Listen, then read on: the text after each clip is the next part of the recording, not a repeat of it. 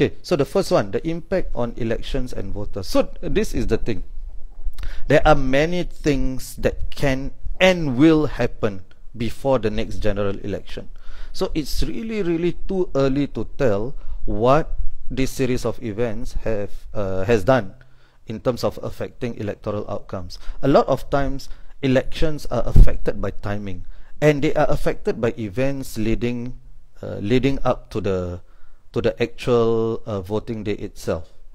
Uh, give you an example, not not long ago, just three years ago, although again that may seem like several lifetimes away, uh, 2020 general election, even the PAP admitted that their well, sort of admitted, right, that their strategy against uh, Raeesah Khan, remember her, Raeesah Khan, um, it sort of backfired because younger people uh, think differently about race. That was what Minister Shanmugam uh, said.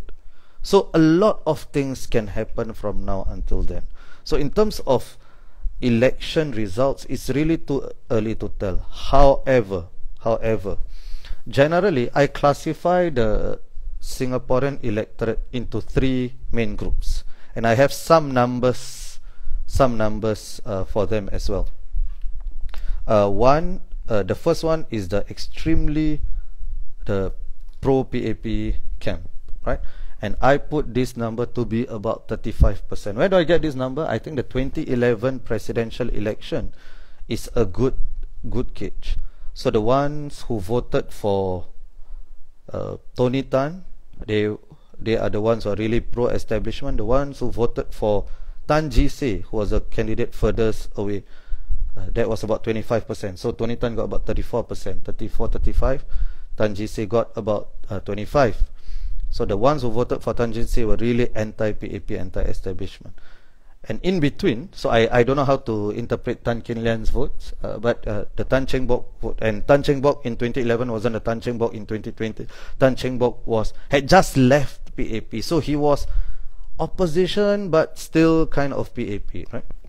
So what you, uh, that, that, uh, group that voted for Tan Cheng Bock, what you can discern is that, or what I discern at least, they are the ones who vote, they lean towards PAP, but they are not PAP no matter what, right? So the 35% pro PAP, no matter what the government does, there's nothing that would change their minds, right?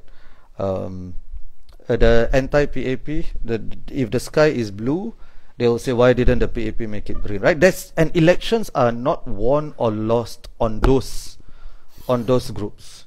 Elections are won or lost because of that middle ground which I say lean PAP right? For obvious reasons right? PAP has been successful material welfare has increased tremendously and of course there are uh, obstacles against the opposition and so on things which I have discussed in previous episodes right?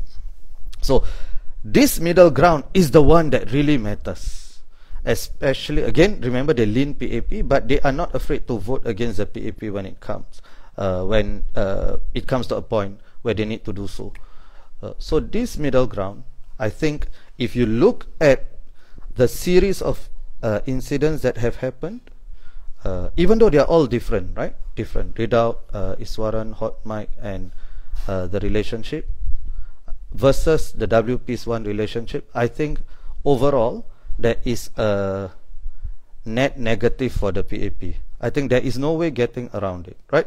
Yes, the way they handled, you can see the way they handled uh, the Iswaran case, which I think is the most damaging, is the most damaging.